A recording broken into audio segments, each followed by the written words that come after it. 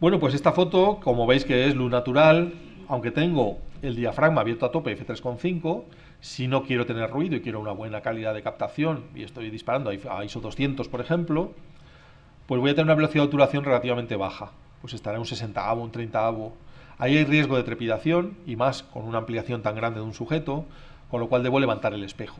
Levantar el espejo, pam, levanto el espejo, espero un segundito y ya abro y cierro obturador y hago la foto.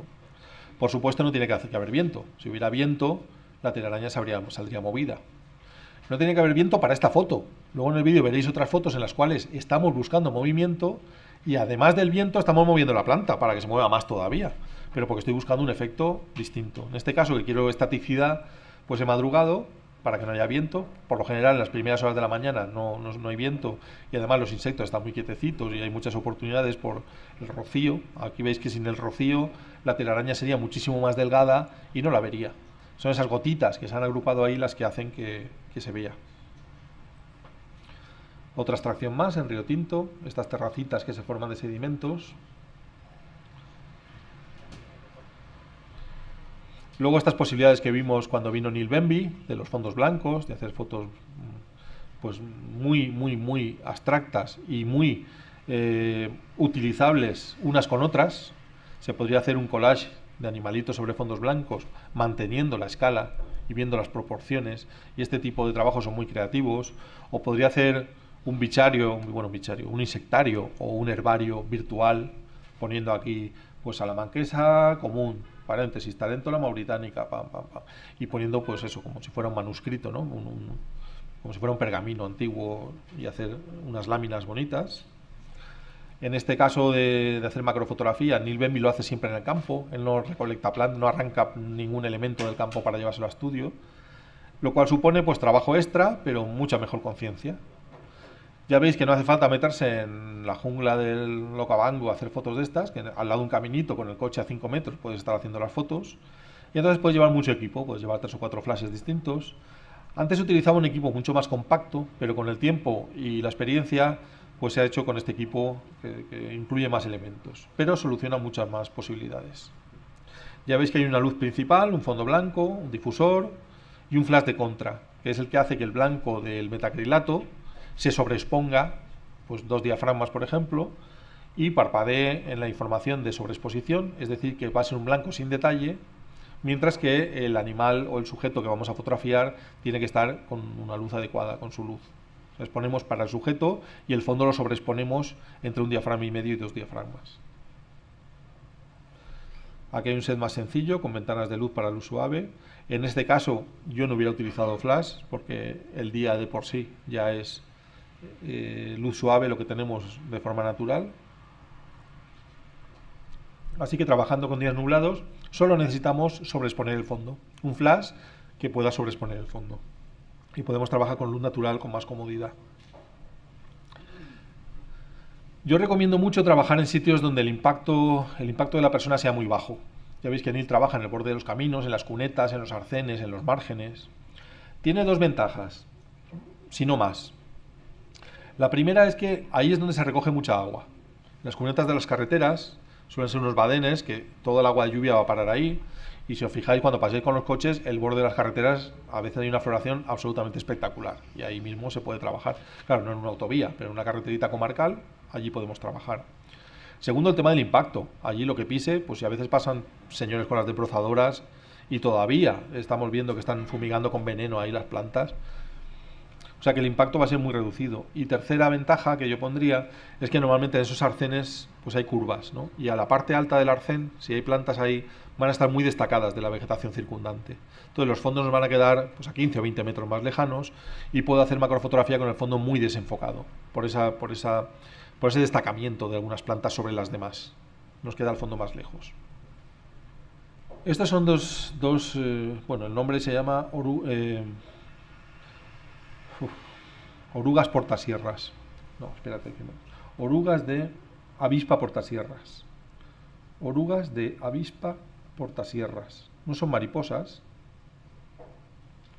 sino que es un, díptero, una pequeña mosquita, la que tiene este, esta fase larvaria. Son muy pequeñas, esto que veis ahí verde, que hace como un eje horizontal, es una cícula de pino. La cícula de pino tendría este tamaño, es muy pequeñita, unos pocos centímetros. Así que esta oruga pues, puede tener un centímetro aproximadamente. Hemos pasado el tamaño 1.1 gracias a los convertidores de focal y en estas circunstancias, que el fondo va a estar, aunque esté cerca, la ampliación del sujeto es tal y mi distancia al sujeto es tan cercana que un fondo a 3 o 4 metros ya queda muy, muy desenfocado. Aquí ya puedo diafragmar más. Aquí ya puedo poner un F8, un F11, que el fondo, pues aunque esté a 5 o 6 metros, desde luego detalle no va a sacar, porque estoy enfocando pues a 40 centímetros. Entonces el fondo relativamente, comparativamente con, el, con, el, con la distancia de enfoque al sujeto, está lejísimos. No es, lo, mismo enfocar algo que... ¿Sí? No, no, este es fondo natural. Fondo natural, en efecto. Este fondo es natural, lo que no es natural es la, la luz que están recibiendo los sujetos. Aquí hay un flash con difusor que ilumina casi frontalmente las dos orugas, es una foto muy descriptiva, y luego desde abajo hay un flash de recorte que perfila la oruga de abajo y las patitas de la oruga de arriba. Veis que hay como un brillito que recorre el dorso de la oruga de abajo, que es esta luz de recorte. Como el fondo es verdoso y las orugas son verdosas, cuando los tonos o los colores se aproximan mucho, es recomendable utilizar estas luces de recorte. El próximo capítulo es de moda, sí. No, es de retrato, perdón. Ya no estoy seguro. Luego lo veremos en la última diapositiva. Pero si es de retrato, ahí vamos a hablar de qué pasa cuando hay un fondo negro y un pelo negro pues si no hay una luz de recorte que defina hasta dónde llega el pelo y dónde está el fondo, pues se van a fundir. Ese es el mismo ejemplo. Si hay verde y verde, o utilizo una luz de recorte que me perfile al sujeto o se va a confundir con el fondo. Otro sitio donde trabajar muy bien son los prados. Los prados son lugares que se dejan con vegetación silvestre porque luego una o pasa un tractor o una cosechadora y corta ese heno y esas hierbas para alimentar a los mamíferos, a las vacas, a las ovejas en un corral o bien van a llevar a los animales allí para que pasturen. Entonces nuestro impacto allí va a ser ridículo, al lado de que luego pase un tractor y lo corte todo. Aquí podemos encontrar orquídeas, podemos encontrar pues, un montón de sujetos. Tendremos el inconveniente con respecto a la cuneta, que no va a haber una, un, digamos, baches, porque eso, claro, al pasar una máquina lo tienen perfectamente llano, y solamente las plantas que crecen más que las otras van a ser las que podemos fotografiar, salvo que utilicemos fondos eh, artificiales. En este caso el fondo es artificial. Esto es una Serapias lingua, una orquídea, que no se destaca precisamente por ser muy grande. En este caso, pues tendría un tamaño de unos 20 centímetros de alta. Hay hierbas como la gramínea es mucho más alta que ella, que la que la cubren, la dejan allí abajo. Y una de las formas que tenemos de hacer ese fondo tan desenfocado es con un fondo artificial. Otro sería pues llevando una hoz y cortando detrás de la planta 20 metros. A mí me parece más lógico utilizar un fondo artificial que hacer todo esto. Especialmente porque habrá sitios donde queramos trabajar flora en peligro de extinción o flora amenazada, donde no debemos tocar nada. En un parque natural, trabajando con orquídeas, el fondo es muy sencillo de poner y quitar. Además, da muchísima rentabilidad al trabajo. Una vez que tienes los flashes y te lo tienes todo puesto, ir cambiando una cartulina del fondo son cuestión de segundos y vas teniendo una cantidad de fotos distintas tremendas. Y luego puedes elegir pues, aquella que da mucho más resalte de sujeto y mejor estética. Eso sí, también si nos metemos en un prado y empezamos a aplastar hierba, habrá que ver qué dice el dueño del prado, porque luego esa hierba no la pueden cosechar bien, porque está aplastada, no la corta bien la máquina. Entonces, incluso trabajando dentro de un prado, pues hay que pedir permiso y hay que tener cuidado con, lo que hacemos. Este es un ejemplo de un sujeto muy, muy pequeño. Esta es una foto de 1.1. Y recuerdo que es 1.1 porque no puse convertidores de focal, el bicho era súper chiquitín y llegué al tope del aro de enfoque del 180 entonces sé que es 1-1. Y en la situación práctica, es decir, ya trabajando sobre el terreno, la recomendación es que lo primero que tenéis que hacer es asegurar la foto del sujeto con luz natural. Si la luz natural ya veis que puede tener pues ciertas posibilidades, que no es horrorosamente en contra de vuestro criterio estético y, tiene posibilidad, pues lo primero es asegurar ese sujeto que esté quietecito, pum, una foto con luz natural. ¿Ya lo tenemos asegurado? Bueno, ya es la, mejor foto que podría conseguir con esas condiciones. El animal se deja y coopera. Bueno, vamos a la siguiente. Si se deja, vamos a ver qué, más me qué es lo que más me molesta. Uh, lo que más me molesta es el fondo, más que la luz. Bueno, pues prueba a poner un fondo artificial, o me quito una chaqueta negra y puedo hacer un fondo negro. Bueno, vamos a dar unas vueltas al fondo. Eh, no, es la luz, no el fondo lo que no funciona. Bueno, pues entonces ya es un poco más pesado. Ya tengo que anular esa luz natural, por ejemplo con un, con un, con un reflector, hacer una sombra sobre el sujeto y montar un esquema de luz para el sujeto. Ya es algo que lleva un poquito más de tiempo. O bien utilizar los flashes por encima de la luz ambiente. Es decir, darle una potencia a los flashes por encima de la del sol y anular el efecto de la luz del sol o complementarlo. Esto se suele hacer si la luz es trasera, es decir, si el sol incide desde atrás sobre el sujeto, bueno, ya tengo puesta la luz de contra. Solo tengo que aclarar delante con luz suave y ya tendría la contrapuesta. Entonces me ahorro un flash. Estoy utilizando el sol como si fuera un flash que he puesto yo. Hay otros trucos que es también el dejar enfocada la cámara, el dejar puesto el equipo ya preenfocado, un punto donde el animal ha venido ya repetidas veces. Esto pasa mucho con las libélulas y los caballitos del diablo, que suelen tener un posadero bastante fijo. Entonces salen, se pegan una vuelta, cogen una mosca, vienen, se la comen y así. Entonces estos posaderos, si vemos que siempre va a la misma porción de ramita, puedo encuadrar, preenfocar y bien con un cable disparador o bien con un disparador por ondas, por, radiofrecuencia, pum, activo la cámara a distancia y hago la foto. Esto es, esto es luz natural y fondo natural. Esto está tal cual.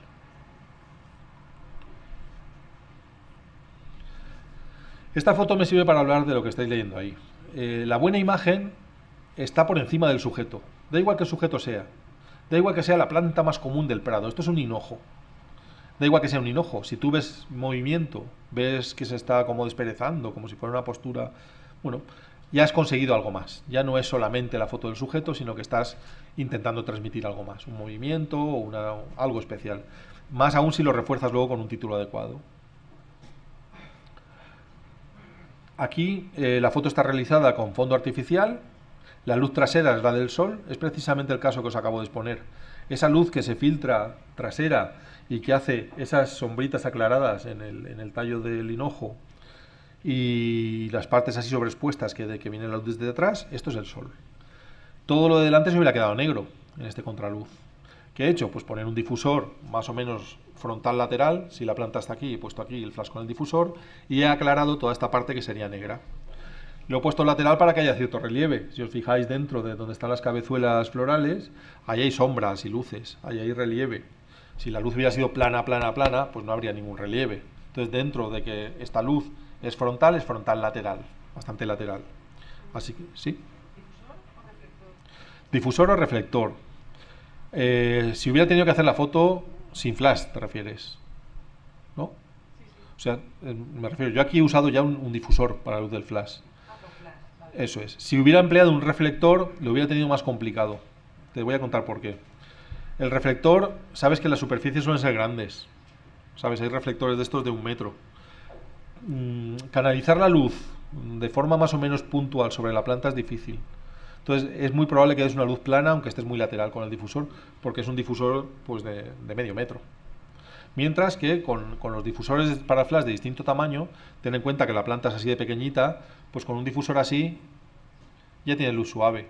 Aquí sí puedes dar una luz muy lateral que no se te va a abrir, no se te va a abrir mucho. Mientras que con un reflector, pues vas a estar, la luz va a llegar también muy frontalmente. Consigues menos relieve con un reflector que con un difusor de un tamaño moderado mi recomendación siempre es el flash. Además, en caso de que haya un poco de viento, el flash va a ayudar a detener el movimiento de la planta, mientras que el reflector no. Tenemos la luz ambiente que será pues un sesentavo, un quinceavo de segundo y sigo estando en riesgo. Para mí es mucho más versátil el flash que el reflector. De hecho, en mi equipo yo no llevo reflector. En todo caso, puedo usar los difusores como reflector. Es decir, esas pantallas que, que traje, que son translúcidas y que veréis luego en el vídeo, eh, pueden difundir la luz que llega hasta ellas o pueden reflejar la luz que llega hasta ellas. Entonces, según lo uses con la fuente de luz detrás o delante, es reflector o es difusor. Me ahorro una pieza del equipo. Y luego, como son montables con unos clips que llevo, pues con cuatro que son de tamaño folio, puedo hacer un reflector bastante grande incluso para hacer un retrato en un momento dado. Aquí estamos documentando un proceso con el macro. Esto sería una elipsis, si habláramos de composición es decir, un salto en el tiempo, voy a ver en tres imágenes pues lo que, lo que tarda media hora en suceder. Así que vemos que la oruga cambia de color, se hace como muy gruesa, elige una parte del tallo de la planta donde va a empezar a atarse, la segunda foto, que es la que está más a la derecha, veis que ha trazado un hilo de seda y se ha sujetado a la planta, y hay un cambio de color más apreciable, la oruga se comprime, el cambio de color se produce sobre todo en las patas, la zona de las patas se hace como muy morada, Y al final fabrica la pupa, hace la pupa, que es este envoltorio, donde está la oruga dentro, y donde se va a, producir una reordenación celular que va a dar lugar a la metamorfosis y al cambio a mariposa. Sí. Hay preguntas de internet. Muy bien. Eh, Víctor Campano Matador pregunta, un objetivo Tamron 90 milímetros permite encuadrar a 1.1, pero permite hacer macros 1.2, 1.3 o más más alejados. He probado macro con un 50 milímetros invertido, pero no me permite alejarme más de 10 o 15 centímetros de lo mismo. ¿Ocurre lo mismo con el objetivo macro dedicado? Lo mismo, lo mismo. Con un 90 milímetros, sea de la marca que sea, eh, pues tienes unas limitaciones. Ninguno pasa del 1.1. Incluso hay unos que necesitan un adaptador que es como un tubo de extensión para llegar al 1.1. O sea que son 1.2. Eh, lo que va a notar Víctor es que va a trabajar muy muy cerca del sujeto, el fondo no va a aparecer muy desenfocado y las limitaciones que tiene las va a tener con todos los 90 milímetros que existen en el mercado. Con todos. Pregunta si tiene alguna manera de ampliar más de 1.1. ¿no? Sí, puede, puede utilizar tubo de extensión que le va a obligar a trabajar mucho más cerca, siempre vigilando el tipo de construcción de la lente para no entrar en el viñeteado. Es decir, hay objetivos que no le puedes poner tubos de extensión ilimitadamente. Llega un momento en el que empiezan a viñetear. Siempre que se utiliza un tubo de extensión hay que quitar el parasol, porque es lo primero que puede viñetear en un objetivo. Se quita el parasol, se pone el tubo de extensión y hay que hacer pruebas según qué objetivo sea, si es Tanron o si es Toquina o cuál es, hasta ver dónde empieza el viñeteado. Pero con el tubo de extensión, un 90 milímetros que te está enfocando aproximadamente a unos 18 o 20 centímetros para hacer 1-1, pues vas a estar trabajando a una distancia en la cual iluminar ya es una película. Porque duplicadores y todo eso no se puede poner al, 90. no. no. Vale. Y luego, con respecto al macro invertido, eh, aumenta más cuanto más angular. Es decir, si con un 50 milímetros estás consiguiendo 1,1, cerca del 1,1, y quieres más, prueba a invertir un 35, un 28, un 24. Cuanto más angular es el objetivo y lo inviertes, más macro te da. Yo utilizo el 24 macro de Sigma antiguo, de enfoque manual, eh, invertido, y me da hasta 4,1 de ampliación. Y otra pregunta, eh, Francisco, Javier Woodman Lorite, bueno, ya lo has explicado, pero lo vuelvo a explicar. pregunta si el flash lo utilizas encima de la cámara o fuera de la cámara. No, fuera de la cámara, sí, fuera, fuera de la cámara. La luz frontal, salvo que vayas a resaltar mucho el color por encima de otras cosas, eh, no es muy deseable en fotografía creativa. Entonces busco más mm, ponerlo donde yo quiera. A veces es cenital porque quiero que parezca el sol, a veces es muy lateral porque quiero resaltar el relieve, como en esa foto que habéis visto del, del, del hinojo entonces casi nunca está encima de la cámara. Cuando lo pongo encima de la cámara, que lo veréis en el vídeo, lo explico, es solamente para excitar el resto de los flashes. Es un flash muy rebajado, que no va a actuar en la escena, que a veces veréis incluso que el cabezal no está ni siquiera orientado al sujeto, sino al flash, que es donde me interesa que actúe. Y lo utilizo solamente para excitar por luz al resto de los flashes. Y otra pregunta de Carlos Duarte Marín. Pregunta, ¿qué nos puedes decir de los objetivos macro Sigma y cuál nos recomiendas? Bueno, Sigma tiene, quizás sea una marca especial para esto, y hace una buena calidad óptica en los objetivos, pero una menor ergonomía y menor durabilidad de los objetivos. Es decir, la fabricación del objetivo es peor, pero las lentes tienen una razonable calidad.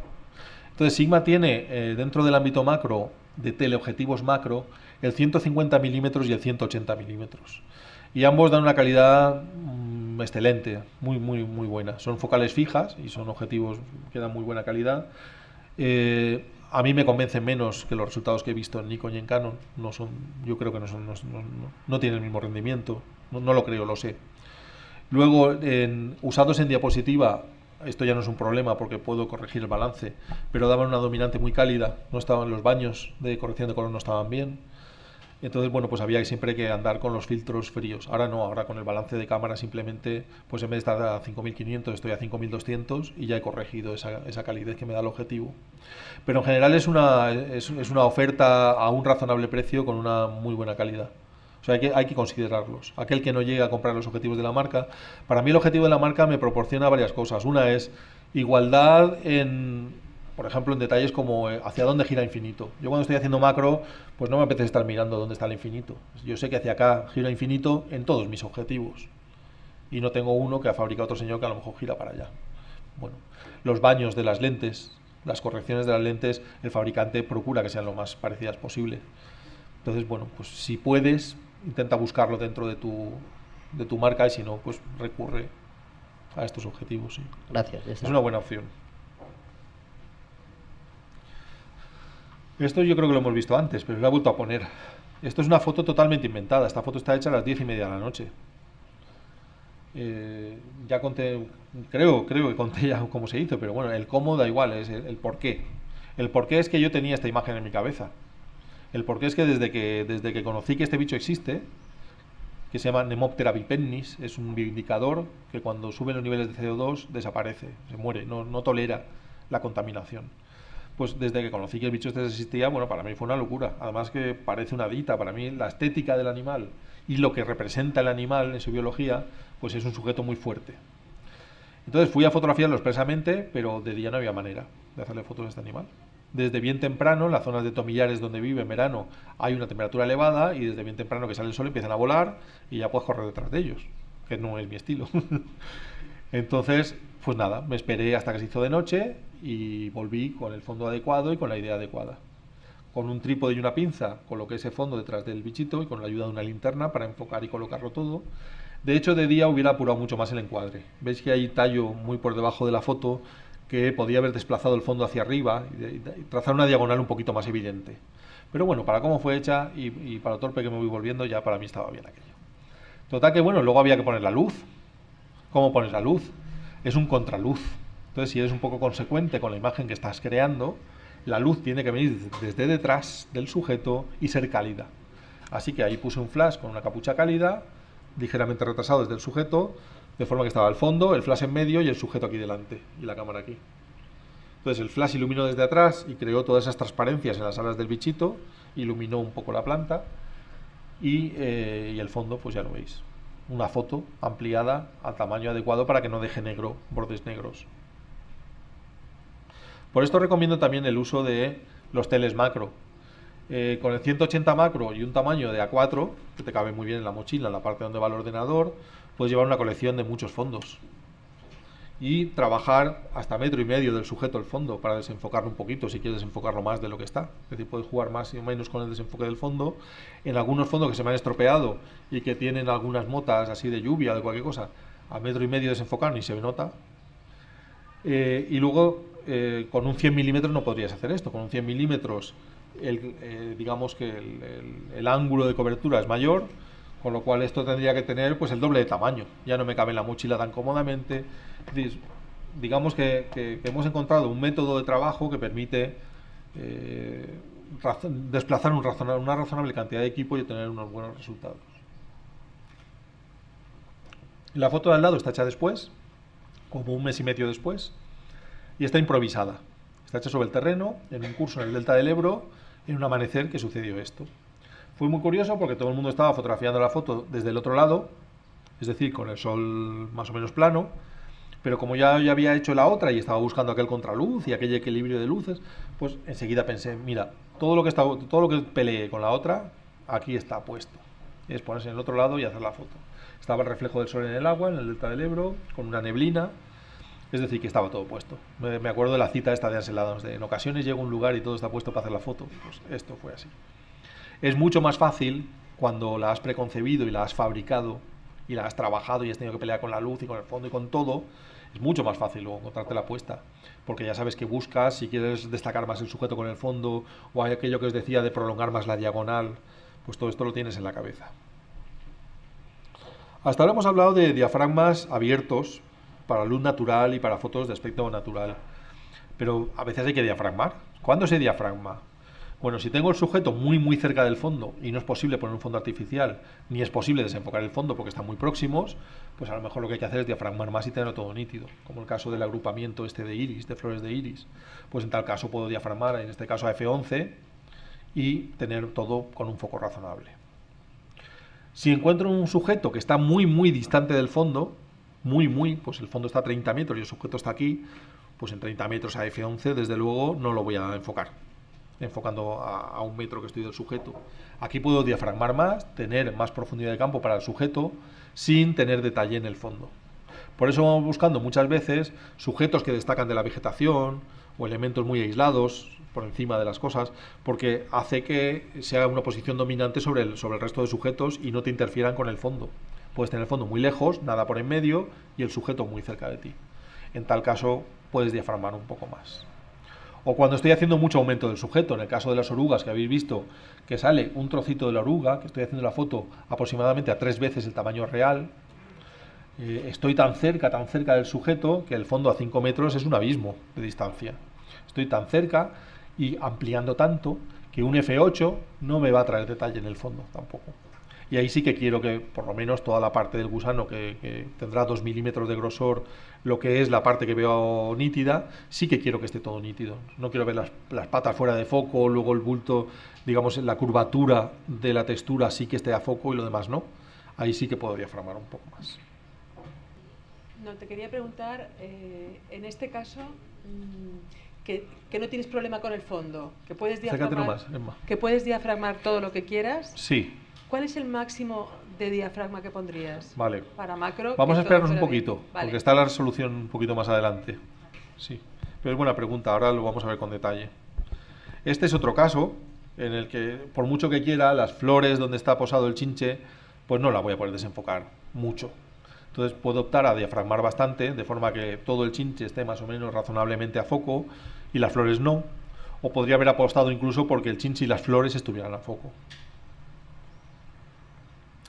Estas son fotos más planas, donde sujeto y fondo están en un solo plano, y aquí pues es imposible, es imposible dejar la arena fuera de foco y la medusa a foco, como se ve.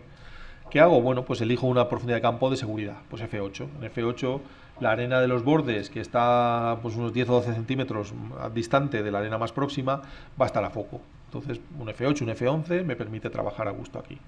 Esto está hecho a las 12 de la mañana de un día de sol de estos incólume esto que dices, mejor me voy, me meto en un chiniquito a la sombra, en Formentera, en pleno agosto.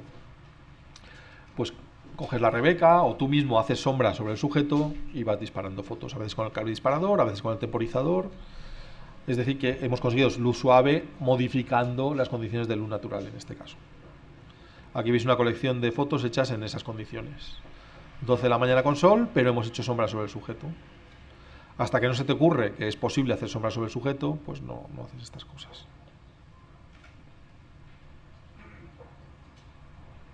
Aquí está la, respuesta a la pregunta de Emma.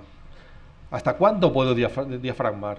Bueno, diafragmar eh, está muy bien, pero hay que saber, hay que saber que hay una relación intrínseca entre eh, definición y color la transmitancia, que sería la transmisión del color del objetivo al plano focal, y la acutancia, que sería la resolución que transmite el objetivo al plano focal.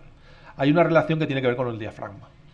Cuanto más diafragma, teóricamente, trabaja solo el centro de la lente, más va trabajando el centro de la lente, que es donde más resolución consigo, donde la lente es más plana, está más corregida, y ahí tendré una máxima resolución. A cambio de haber perdido color porque la transmisión del color la da la superficie de la lente. Cuanto más abro diafragma, que es lo opuesto, más superficie de lente está trabajando y, enviando información y tengo la máxima representación del color en el plano focal. Entonces, ¿qué hago? Bueno, pues siempre se ha dicho que trabajar en los diafragmas intermedios es la solución de más calidad. En un F8 tengo una razonable resolución, porque está trabajando bastante parte central de la lente y no los bordes y una razonable superficie como para tener buen color. En el caso de la difracción, lo que nos está diciendo es que no es deseable nunca llegar a los límites de los diafragmas. Los diafragmas muy cerrados delimitan un orificio muy pequeño y por ahí tiene que pasar la luz para formar la imagen en el plano focal.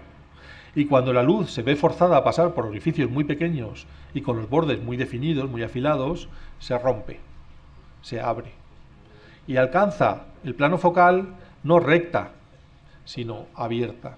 Y eso provoca una morbidez, una, falta de definición eh, eh, y de contraste muy apreciable en la foto. Es decir, la foto aparecerá pues, como con un blur, como con un flare, como una neblina que hace que los blancos se, se metan mórbidamente en los negros.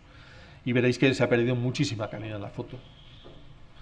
Pues esa rotura eh, no se produce cuando vamos abriendo diafragma. Entonces, a partir de los dos últimos diafragmas posibles en tu, focal, es donde no deberíamos llegar, salvo que lo necesitemos. Por ejemplo, en el caso de la foto de un río con el agua moviéndose, necesito pasar de 16 a 32 segundos por el efecto del agua movida y si lo necesito está por encima de cualquier consideración técnica. La consideración estética, la composición está por encima de la técnica. Así que teóricamente ganaríamos más resolución, pero por el problema de la difracción tendríamos esa imagen desvaída, con falta de contraste, con falta de calidad. Mucho peor rendimiento colorimétrico, porque estoy trabajando con una superficie lente muy pequeñita. Así que trabajaré, yo creo que F16 es un límite en macro bastante razonable.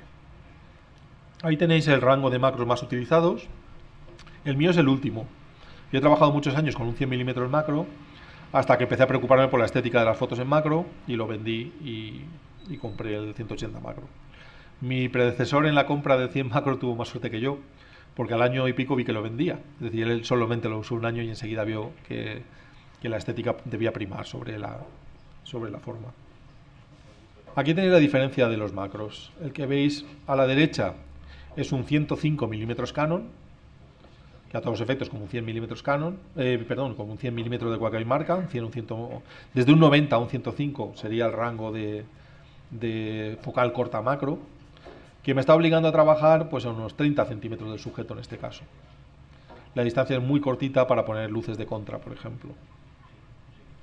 Y este es el otro caso, el de la izquierda, que es un 180 macro, que en Nikon el equivalente es un 200, y en otras marcas, pues como Sony Olympus, puedo encontrar un 180 que a lo mejor no es macro, pero con un tubo de extensión lo puedo convertir en macro, o con convertidores de focal.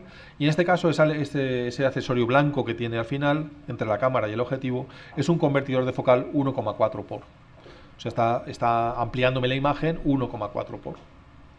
De esta forma estoy trabajando, si la distancia mínima de enfoque del 180 son 70 centímetros, a 71 centímetros tengo 1,1, con el 1,4 pues ya podría estar a un metro, haciendo 1,1 a un metro del sujeto. Es muy razonable. Y si pongo un duplicador, podría estar a 2 metros haciendo 1,1 sobre el sujeto. Es muy razonable. Es decir, no hay muchos bichos que a 2 metros sean conscientes de que tú estás allí. Sobre todo si te acercas poquito a poco y con cuidado. Para mí es la apuesta. Luego hay otro tipo de lentes que no suelen tener los fabricantes de estas cámaras, que no suelen tener Nikon ni Canon, que solo tiene Sigma, de hecho, es el único fabricante que los tiene, que son, están en el rango del 20 y el 35 milímetros macro.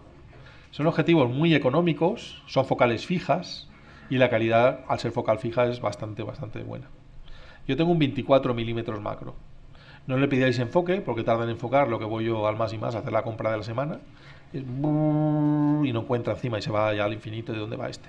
Es mejor enfocar a mano, aunque sea, bueno, aunque, aunque lleve esta, esta posibilidad. Además, el mecanismo del autoenfoque es ¡pac! eso es lo más horroroso que se ha fabricado. Pero bueno, una vez que nos acostumbramos a trabajar con él, el tipo de fotos que conseguiremos es imposible conseguir con el 180 macro, 105 macro. Este es el tipo de fotos. Entonces, como veis, incluyen mucha porción de ambiente, son fotos mucho más vivas, luminosas, no sé cómo llamarles, abiertas, no se ves, ves, ves que hay mundo detrás del macro, ¿no? El sujeto, que es muy pequeñito en el caso de este sírfido, pues ocupa buen, un buen tamaño de imagen. Eh, la euforbia, la planta que veis a la izquierda de la foto, en la foto, eh, pues se ve con razonable detalle las hojas y el detalle de la planta.